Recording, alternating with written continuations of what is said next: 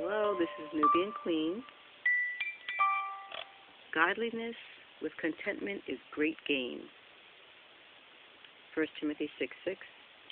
Never satisfied, but always content.